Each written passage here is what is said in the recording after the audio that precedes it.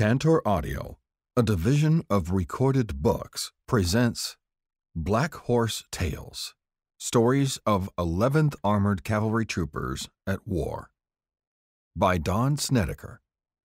Narrated by Corey M. Snow. Publisher's Note This audiobook may refer to visual elements included in the print and ebook editions of the book. Preface This is a story about Americans at war. Like their mothers and fathers before them, when the nation called, they answered. For many of the young men who received orders to the 11th Armored Cavalry Regiment, hereafter 11th Cav, in the 1960s and early 1970s, the word cavalry invoked visions of John Wayne, Custer's Last Stand, and, well, horses. As Chaplain Larry Howarth said years later, I would have requested the black horse in the first place, except for one thing.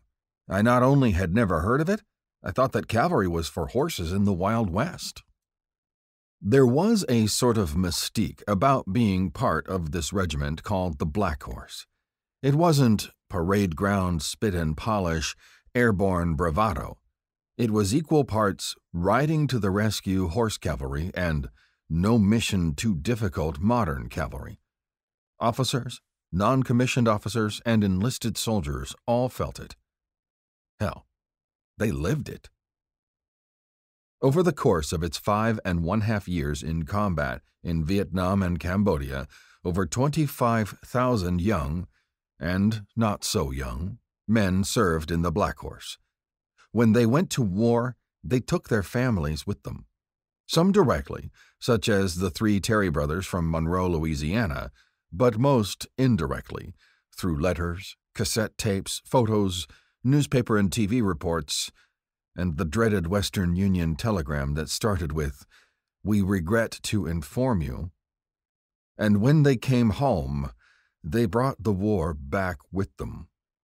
Some intensely, such as Jack Quilter, who couldn't let go, but most more subtly, through the changed person they came home as. In some ways, the troopers of the 11th Armored Cavalry Regiment were very much like the millions of other young men who served in the armed forces between 1966 and 1972. Some were drafted, many more volunteered. You did your basic and advanced individual training and then went to Vietnam.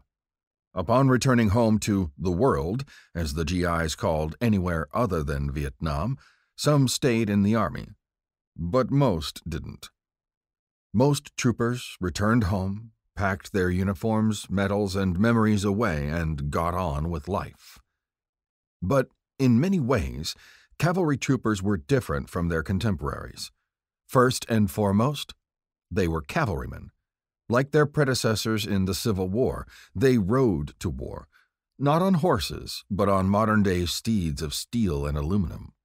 They lived and died together inside their armored cavalry assault vehicles, ACAVs, tanks, howitzers, and helicopters.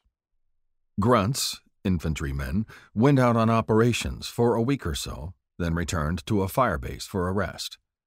Aviators flew out every morning, then back to a semi permanent airfield almost every night. Artillerymen were almost always located inside a well defended perimeter. Support soldiers lived in base camps or depots with many of the comforts of home clubs, movie theaters, and yes, even swimming pools. For most Black Horse troopers, there were few, if any, breaks from the war. You joined your platoon and stayed in the bush for months at a time. In the jungle, rubber plantations, rice paddies, and on the roads. In the dry season and wet season. Day and night. 24 7. Every day and every night. For the better part of a year. Unless you were wounded and went home sooner. Black Horse troopers were unique in another way as well. Everybody up and down your chain of command was also a cavalryman. They all wore the Black Horse patch and the Allons unit crest. That meant that you were all part of the same brotherhood of war. with all the privileges and responsibilities due to your lifetime membership in this brotherhood. Mike O'Grady, 3rd of the 11th Howitzer Battery, 1967, sums it up succinctly.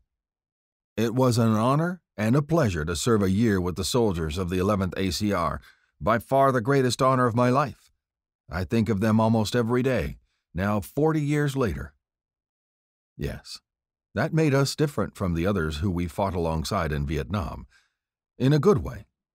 In a very good way.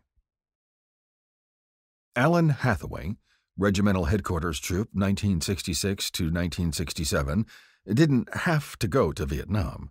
He had a dream job. He joined the 11th Cav at Fort Meade in August 1964, fresh out of the Non Commissioned Officers Academy at Fort Knox. A little over a year later, he was selected by General Earl Wheeler, the chairman of the Joint Chiefs of Staff, to become his enlisted aide at the Pentagon. But when word came down that his old unit had orders for Vietnam, Alan went to his boss and asked to be relieved from this prestigious position. He had trained with these troopers, and if they were going to war, by God, he wanted to go with them, even if it meant extending his term of enlistment in the Army for two years which it did. Alan Hathaway is a Black Horse Trooper. Gene Johnson was one of the first to join the newly formed Aero Rifle Platoon in 1966 at Fort Meade. He and the others trained for nine months together before arriving in Vietnam in early 1967. When they arrived, the platoon was reorganized into a long range reconnaissance patrol platoon. New missions, new tactics, new dangers. But Gene thought so much of being a Black Horse Trooper that when his number came up for a second tour in Vietnam, he made sure that it would be with his regiment. But a full year stint with Echo Troop in 1970 to 1971 still wasn't enough. Just a few years later, Gene was back with the Black Horse, this time on the east west German border. New missions, new tactics, new dangers. Gene Johnson is a Black Horse trooper. David Harper, a Korean war vet, joined 3rd of the 11th's Mike Company in Regensburg, Germany in 1960. In 1964, the Army decided it was time for the regiment to come home, so David moved with his family to Fort Meade. He was still with Mike Company when the 11th Cav deployed to Vietnam in the fall of 1966. In fact, David Harper served eight straight years with Mike Company.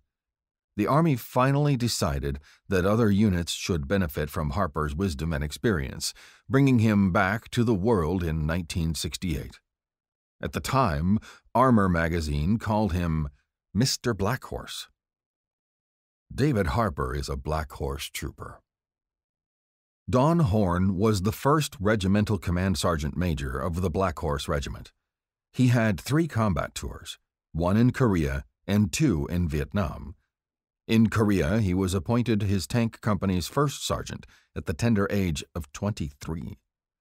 During his two tours with the 11th Cav, he served with six different regimental commanders. Remarkably, he was at the side of Colonel Jack McFarland when he was severely wounded in March 1968. He was in the same helicopter crash that killed Colonel Don Holder, McFarland's successor. Despite these close calls, he answered the call again when Colonel Don Starry took command of the regiment and was by Starry's side when he was wounded in May 1970. In an interview for the Black Horse newspaper in mid 1969, Horn said, to the cavalry soldier, this is the finest assignment in the world. Once you're a Black Horse trooper, it gets in your blood, and you're always one, no matter where you go. Don Horn is a Black Horse trooper. Bill Trobaugh was the regimental chaplain in 1970. He was known as the marauding Methodist. Trobaugh had served a hitch in the Navy during World War II, so he had seen the elephant before. He had a reputation for being where the action was. He sought it out, and it sought him out. The rumor was that units seemed to get hit whenever he came around. Was he an NVA magnet, or did he just have bad good luck? These were the questions the Golf Troop commander had to consider when Trobaugh came around on the third day of the Cambodia operation. He'd heard that Frank Cambria had been badly wounded in action during the border fight, leaving his third platoon without an officer. Bill Trobaugh had already spoken with the 2nd of the 11th Commander, and it was all right with him if it was all right with Sewall Menzel, the troop commander. Bill Trobaugh, lieutenant colonel and chaplain, was volunteering to take over as a recon platoon leader in the middle of the biggest operation the Black Horse had conducted since entering the war. Menzel made it clear that even though he was two ranks his senior, he would be the one giving the orders to Brevet Lieutenant Trobaugh. The chaplain readily agreed. For the next several days, Trobaugh led the platoon with distinction including being up front during the assault on the rubber plantation airfield outside of Snuol. Menzel described him as the epitome of the Army's fighting chaplain tradition, going back to those Indian fighting days of the Wild West. This was a guy who could not only praise the Lord but also pass the ammunition, Black Horse style. Don Starry considered him one of the greatest 50 cal machine gun guys I ever met. Bill Trobaugh is a Black Horse trooper. These are their stories. Black Horse Tales is a companion volume to The Black Horse in Vietnam, whereas the first volume told the history of our regiment between 1966 and 1972. This volume tells the stories of the men who proudly call themselves Black Horse Troopers. I am indebted to a number of people who helped make this book possible. The list of those who shared their memories with me can be found in the Sources section at the end of the text. But the following individuals went over and above. Trooper John Preddy has a sharp eye and a sharp pen. His drawings on these pages bring the war stories to life. Trooper Rex Saul's prowess with an M16 rifle and a 35 millimeter camera contributed immeasurably to the Black Horse legend. And to this book, too. The leadership of the 11th Armored Cavalry veterans of Vietnam and Cambodia, Troopers Pete, Frank, Greg, Ollie, Bill, Mike, Bob, Jerry, Eric, Jack, Larry, Alan, Otis, Paul, and Bob. Volunteers and veterans all have supported me for many years. Allons! Finally, a special thanks to the Black Horse family members. Your support and understanding help us get through each and every day. Yes, that means you too, Victoria. Chapter 1 The Troopers We were young, we were committed, and we were very good at what we did. John Casterman, M Company, 3rd of the 11th, 1966 to 1967. The Black Horse is like a 57 Chevy. It's the most recognized car in the world, and the Black Horse patch is the most recognized patch in the world. Jerry Utterback, B Troop, 1st of the 11th, 1970 to 1971. A good cavalryman has got to be half crazy like George Custer. It's just the wrong business for careful people to be in. Bill Paris, Air Cavalry Troop, 1969 to 1970. It was a crazy time, the 60s. The whole world seemed to be in flux. The staid 50s made the 60s even more surreal. The Vietnam War was tailor made for the psychedelia 60s. Talk about surreal. Male high school graduates, and dropouts too, were faced with a life altering choice to serve in the military or not. If you chose yes, then the next choice was multiple choice. Volunteer, wait to get drafted or join the National Guard or Reserves, if you had connections and could. Of course, there were various alternatives associated with each choice. If you volunteered, you got to choose what your military specialty would be. Choose combat arms, you're probably going to end up in Vietnam. Choose ballistic missile repair, likely not. There were even options for when you might get drafted. Get married, maybe a draft deferment. Go to college, probably a deferment. See a doctor about your bone spurs, likely a deferment. go to graduate school, have a baby, claim a moral objection to war, go to work in a defense industry factory, all potential get out of jail free cards. So, everybody had choices. For Bryant Nelson, the choice was clear. My father in law, who served as a fighter pilot for the famous Flying Tigers in China and Burma, without saying a word, had strong influence on me to pick up the responsibility to serve my country and help in whatever way I could in a war I believed helped free the Vietnamese from the yoke of communism. Bryant ended up in artillery, serving with 1st of the 11th Howitzer Battery in 1969 to 1970. Contrary to the popular notion at the time, most of those who became Black Horse troopers in Vietnam were volunteers, not draftees. While some joined the Army in order to pick their specialty, others were motivated by patriotism, a need to get away from home, trouble with the law, and a wide variety of other reasons. Daryl Carlson, Mike Company and India Troop, 1969 to 1970, for example, signed up with Uncle Sam because he had too many traffic tickets.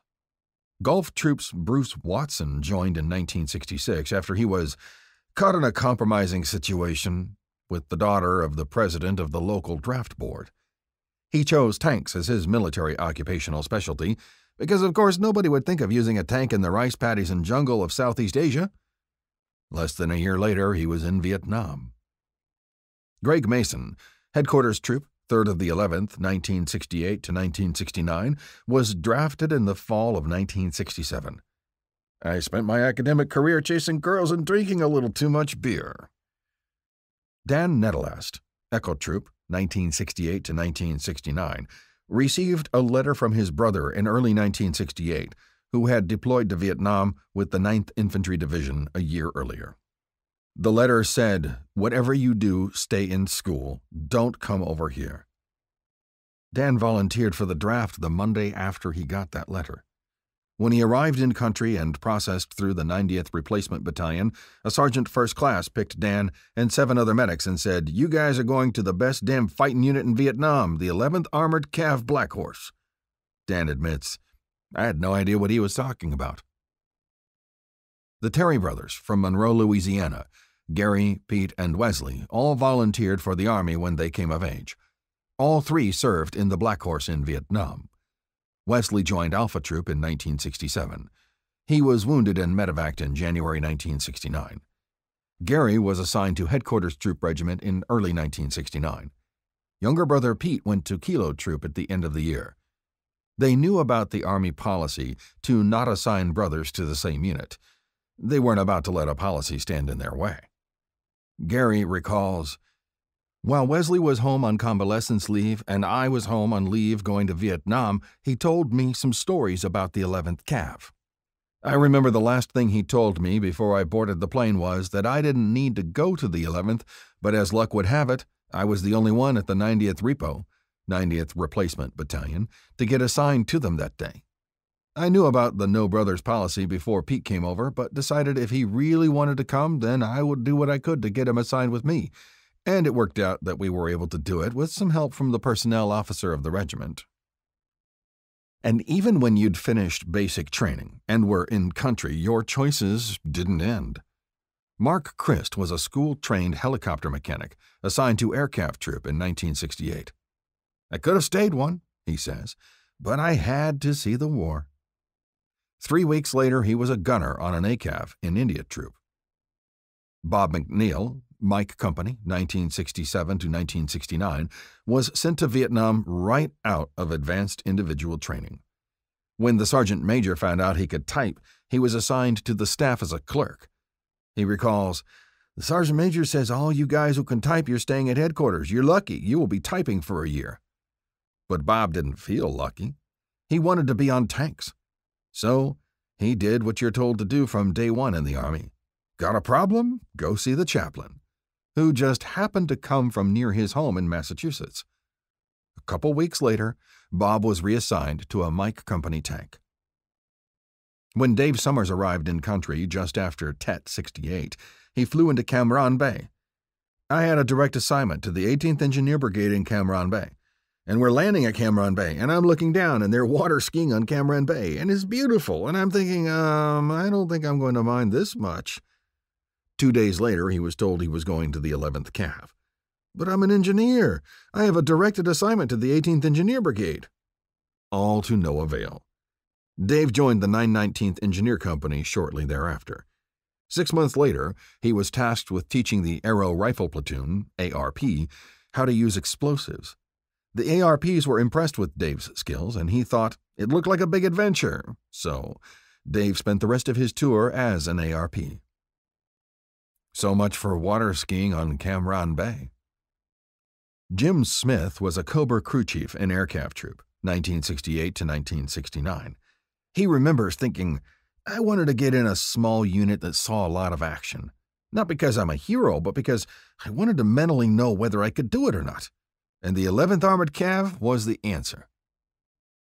After being commissioned out of Officers Candidate School, OCS, Davidson Lair, 17th Public Information Detachment, 1967, was given a cushy assignment Vietnam Entertainment Officer, responsible for coordinating all the United Service Organization USO shows that entertained the troops in Vietnam.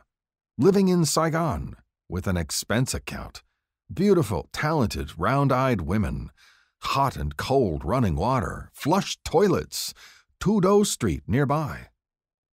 After meeting with two of his OCS classmates, both assigned to combat jobs in infantry divisions, my cocky little world came crashing down. He recalled the words of two people who had influenced his young life up to that point, and still do today. One, a leadership instructor in the 7th Army NCO Academy in Germany, the other a tactical officer, TAC, in OCS. Their words made Davidson realize this wasn't about patriotism or courage, but about the fact that war is an archetypal experience, much the same for soldiers in all eras, and this was my only chance for it. If I returned home without experiencing war, without being out where the action was, I wouldn't want to live with myself. I will not feel cowardly and ashamed. Not again, not ever. Thank you, Dr. Jones and Captain Whitehead. Much to the amazement of his commander, Lair volunteered to be reassigned to the 11th Cav. His transfer was approved in early 1967. After the war, he wrote, my first five months in Saigon were fun and cool. The last seven months in the field were sacred. The first few days in country were a shock. First, the heat getting off the airplane hit you like a ton of red hot bricks. When you finally caught your breath, you almost wished that you hadn't. Vietnam smelled. No, it stank. Like crossing the border into Tijuana in the 1960s on steroids. Rotting vegetation, nuoc mam, Vietnamese fish sauce, burning shit, jet fuel exhaust, acid rain. Fox Troops Kerry McMasters says his duffel bag from 1966 still smells that way. You almost wished you could go back and sit next to that fat, drunk sergeant on the plane who hadn't showered for a week for another 18 hours. Bob Waldroth, Lima Troop, 1969 to 1970, describes the feeling. You walked off the plane and took that first or second step off that ladder to come off it, and you're thinking, man, I got 12 months of this crap. But there's others out there doing it, and they done it before we did, and it wasn't easy for anybody over there. Then it was off to 90th Replacement Battalion, fill out forms, stand in line, stand in formation, pull a detail, stand in another formation. Jack Stoddard, Aircav Troop, 1968 to 1969, recalls the ordeal. I have never been in so many small offices and long lines in my life. One for filling out your will, the next to get paid, and another to fill out your life insurance form. This went on for two full days, until I was finally given my orders. When your name is called, you're loaded onto a truck helicopter for the trip to your new unit, the 11th Armored Cavalry Regiment. The Black Horse. Jim Smith remembers landing at Fire Support Base Holiday Inn in April 1969. He was joining 3rd of the 11th Howitzer Battery. Finally, the chopper landed, and the door gunner told me to get out, newbie. There I was, with my two duffel bags of clothes and gear and my nice, clean new jungle fatigues.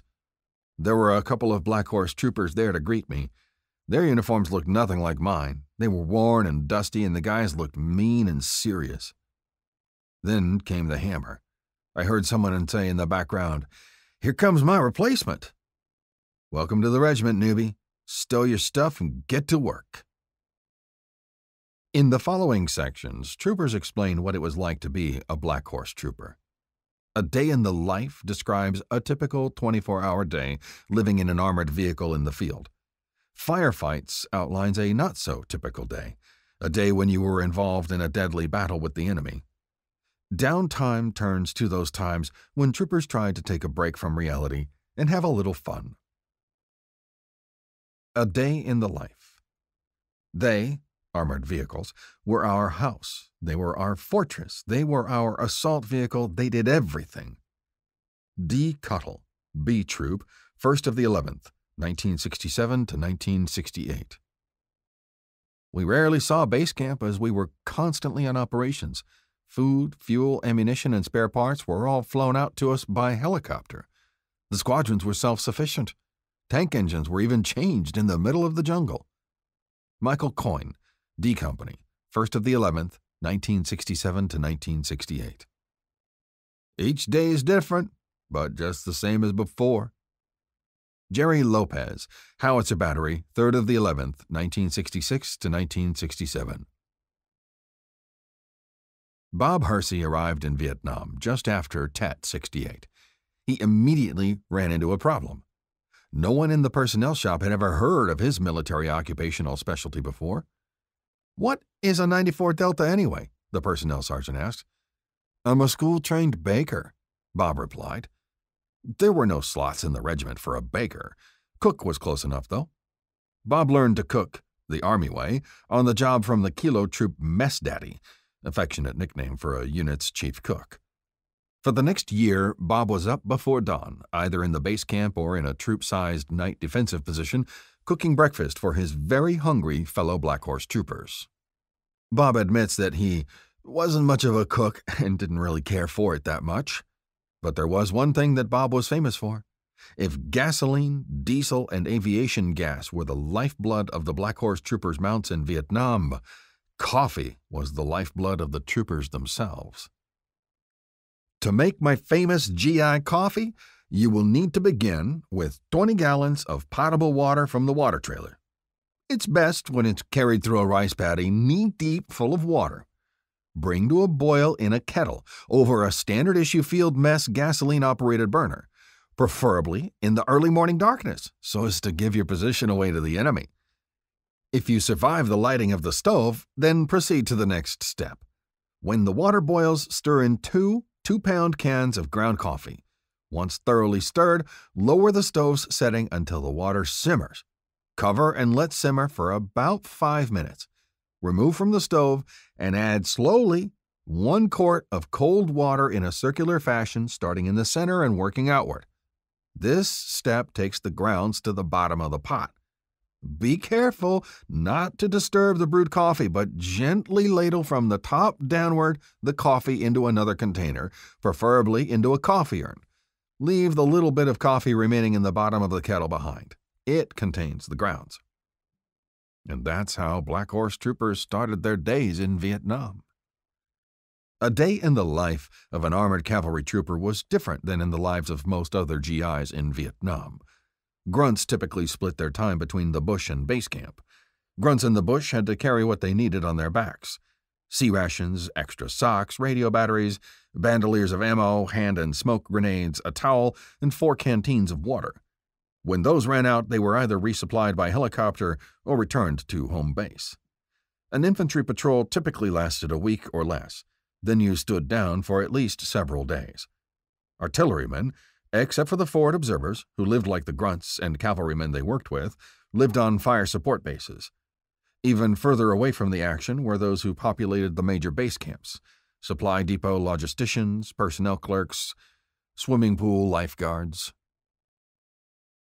David Greenlee, 17th Public Information Detachment, 1969 to 1970, provides a perspective on how life was different when you were at a base camp.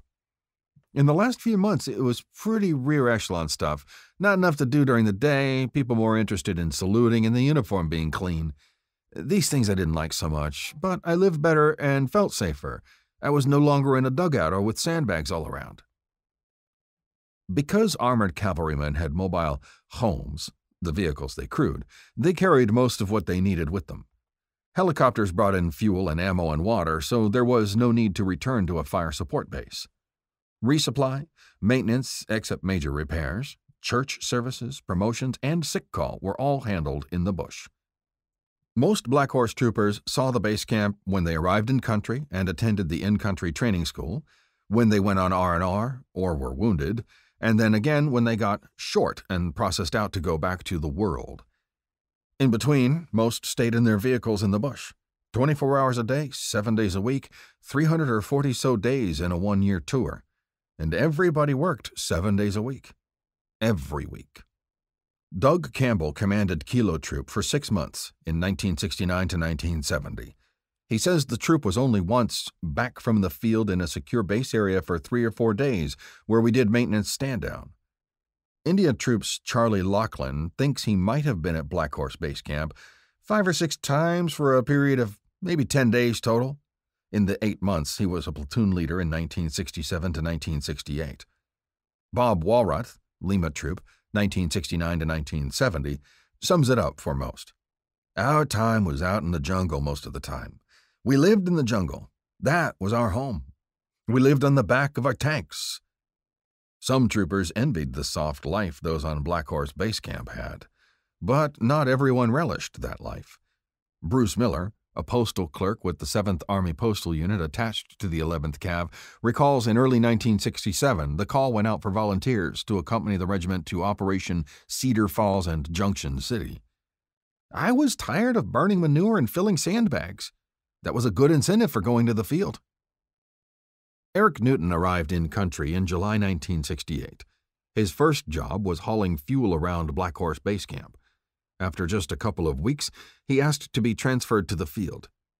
To me, anything was better than being in the rear.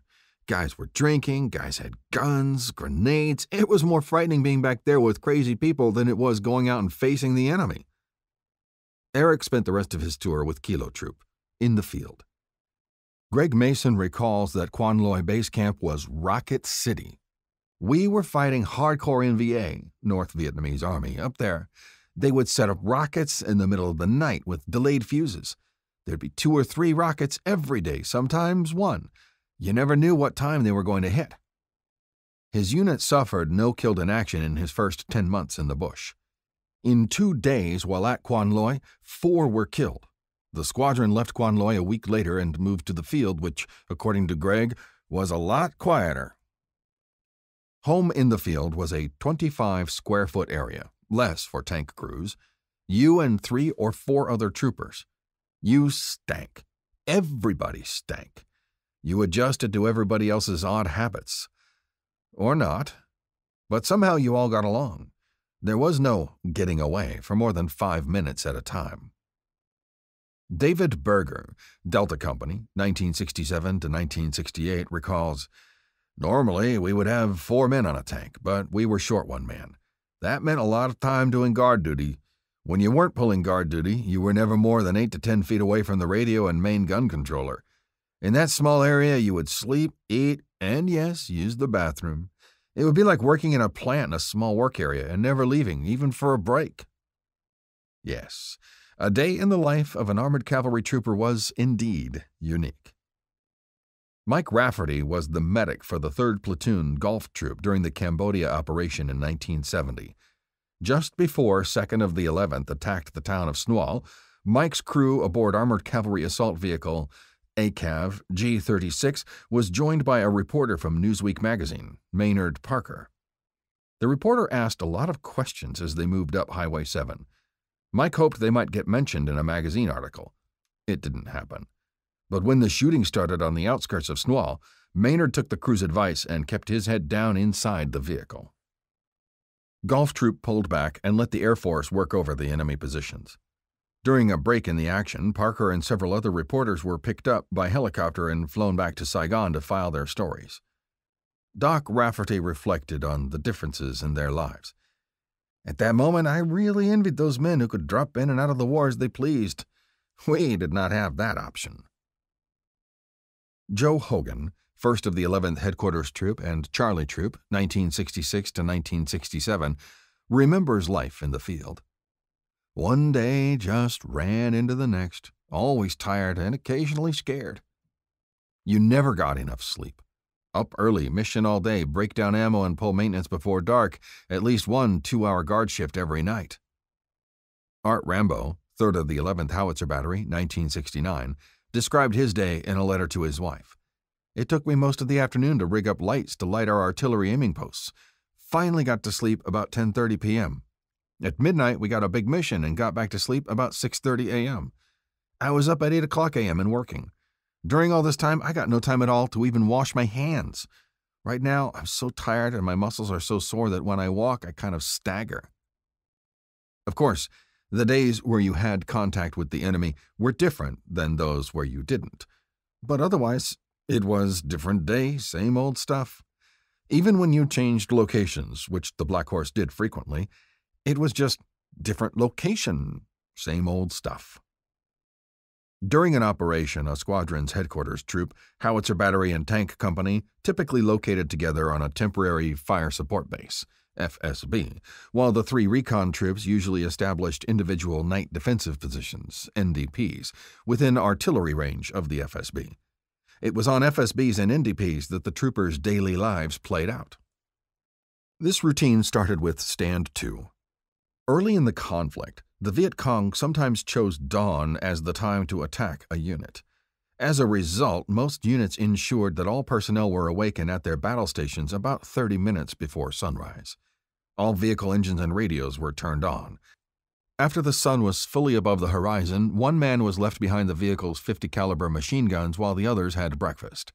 Whenever possible, a hot breakfast was prepared by one of the troop's cooks.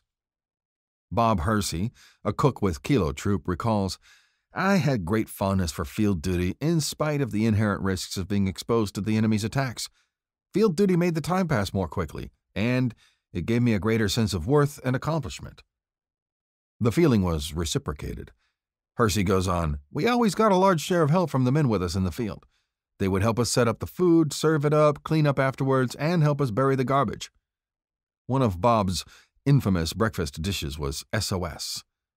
Shucks on a shingle, you translate. Every GI since Hannibal crossed the Alps has eaten or at least encountered SOS.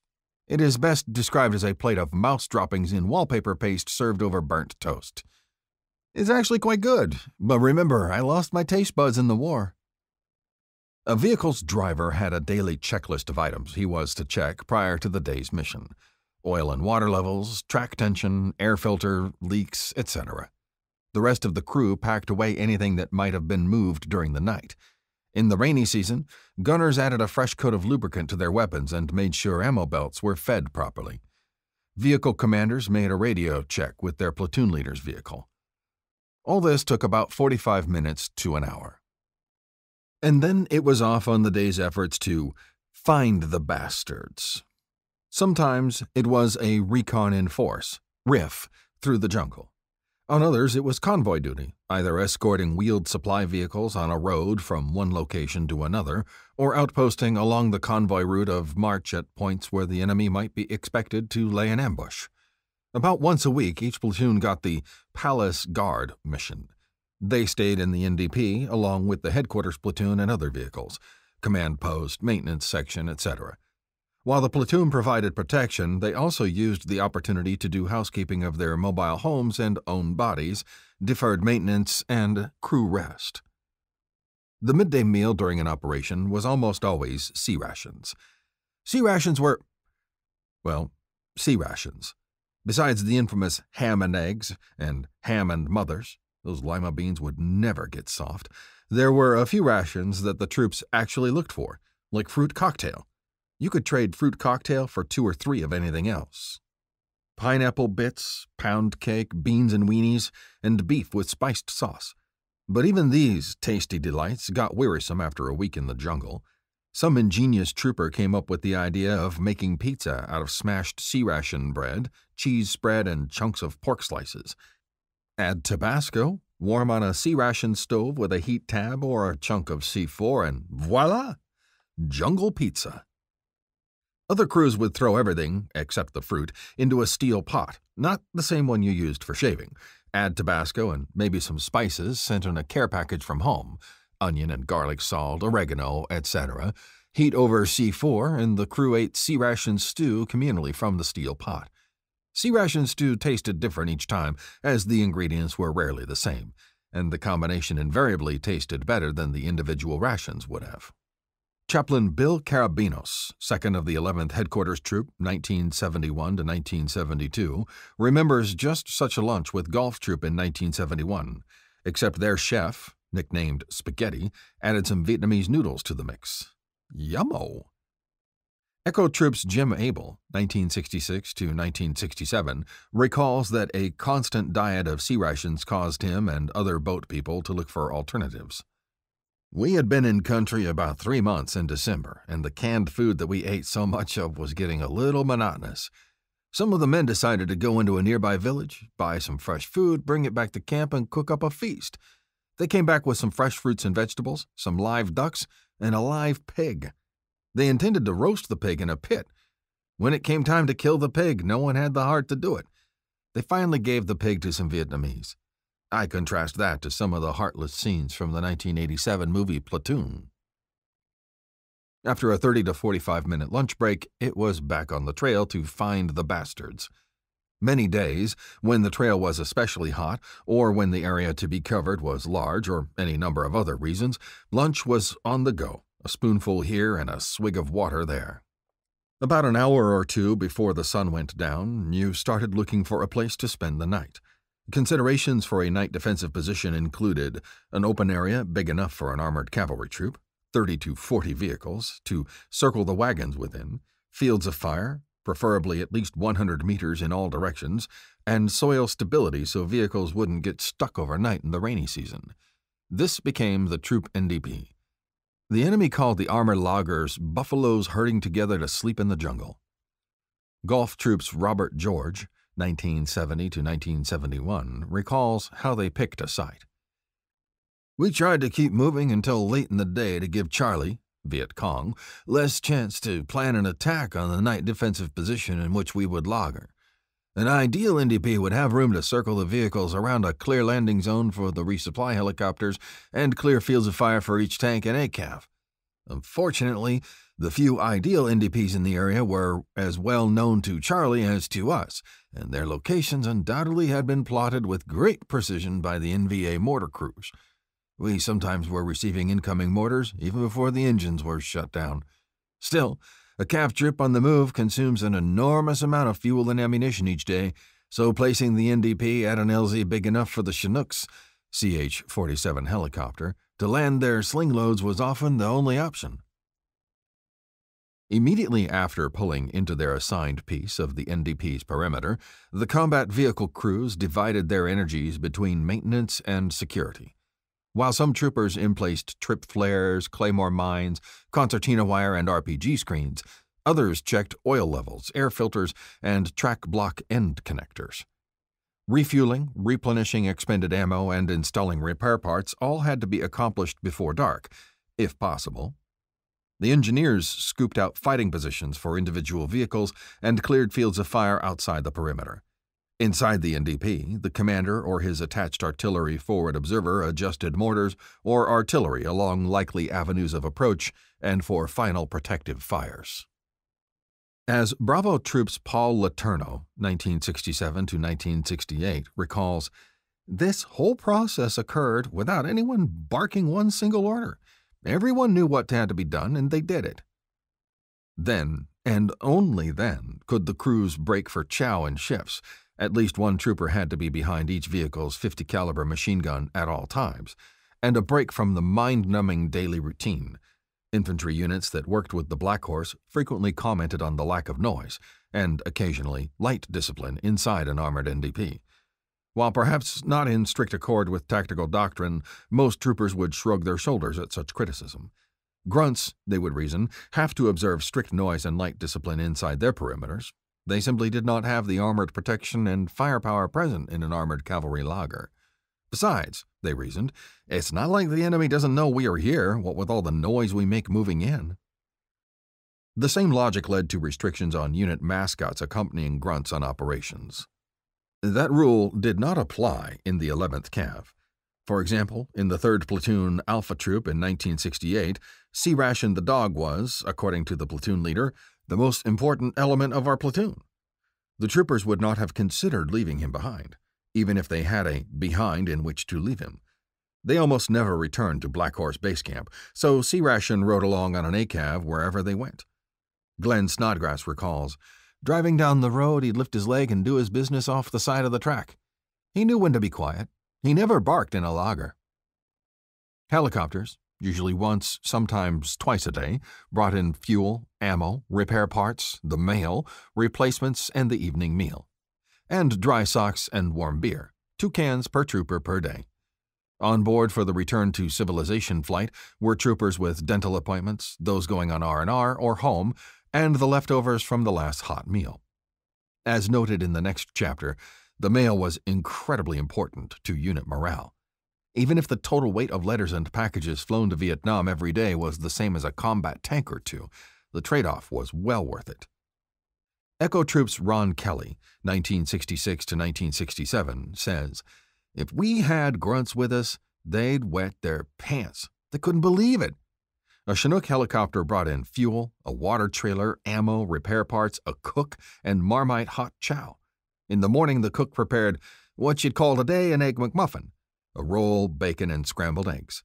And what the Black Horse troopers got, they willingly shared with those grunts whose lives were even more miserable than their own. Bob Alexander was one of those grunts. He served in Alpha Company, 1st Battalion, 8th Cavalry, in 1969 to 1970.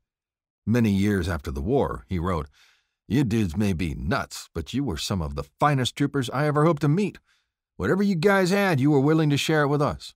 We had to share with you guys, and you still seem to like us. In the evening, after things settled down a bit, a troop company commander called an orders group for his assigned and attached platoon leaders and sergeants. Ambush, mounted or dismounted, patrol locations were designated on a rotating basis. First platoon tonight, second tomorrow, etc. The leaders, in turn, briefed their tank commanders on the next day's mission. After filling in their crews on what lay ahead, the track commanders assigned guard duty shifts, typically two hours per crewman, including himself. If the intelligence reports indicated an attack was likely, crews pulled 50% alert, half the crew awake and looking for the bad guys, all night. Each unit had its own standard operating procedure, SOP, but one or more mad minutes a night was not unusual, and not many people can sleep through a mad minute, a randomly selected blast of fire from all vehicles to deter any approaching enemies. Morning stand to, everyone awake and in their battle positions, came again about 30 minutes before daylight. Sometime in between, troopers took care of themselves. Everyone developed his own routine morning shave, Tuesday shower. The godsend Australian shower made field sanitation so much easier than a helmet bath. There was almost always enough water, warmed by the day's sun, to take a shower once a week, otherwise, living grubby, in the words of Echo Troops Teddy Kopic, 1971. But it sure beats walking, he adds. Squadron Commander John Ballantyne III, 2nd of the 11th, 1970 to 1971, sums it up this way it's a pretty miserable existence. The mud, grease, grime, dirt, cramped living area. You can take it for two or three days, but for a kid to take it for a year, he's really making a sacrifice for his country. If there were no Australian showers or five gallon cans of water available, there were alternatives. Bill Barner, 2nd of the 11th Howitzer Battery, noted in his diary for 15 September 1967 It began to rain, so I took a shower outside in it soap and all. Charlie Lachlan noted that his platoon depended on rainwater supplemented by five gallon cans. One person would get on top of the track and pour a short burst of water on the bather on the ground below. The bather would soap off and then receive another burst of water to rinse. After drying off and putting on fresh clothing, the men would swap and the process was repeated. Red Devils Fred Sheets and Connie Paget, 919th Engineer Company, took advantage of another source for personal hygiene. By 1969, Warzone C was full of B 52 craters. Paget noted that they would fill up with water in one day during the rainy season.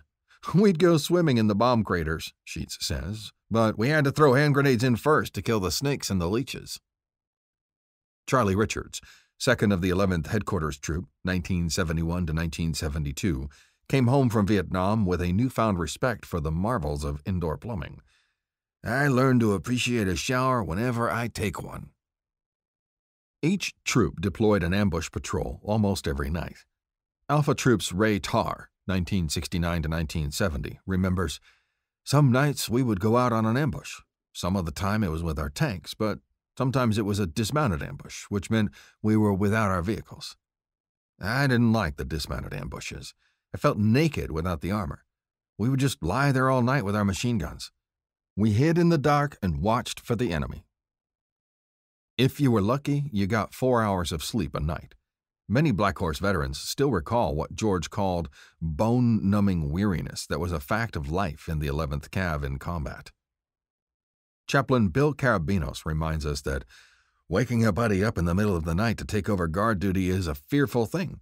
That is, unless you can call him your brother in arms. Bill Gregory can attest to that. He remembers pulling his guard shift behind the 50 caliber machine gun on Hotel Company Tank H-11 at Fire Support Base Fort Defiance near the Cambodian border in March 1970. Each crew had one man awake at all times to make sure the NVA would not sneak in on us.